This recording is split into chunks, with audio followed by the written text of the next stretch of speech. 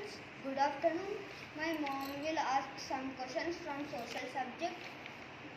I will try to answer. Mom, can you ask? Government.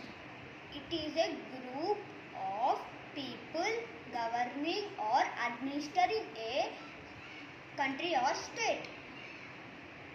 How many governments are there in our country? There are two types of governments.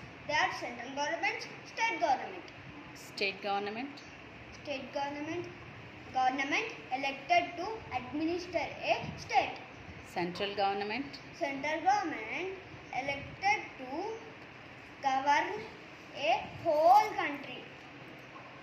what is welfare? Welfare, well-being a person or group.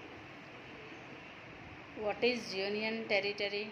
Area looked after by the central government. Thank you. If you like this video, please like, share and subscribe to our channel. Bye. Thank you.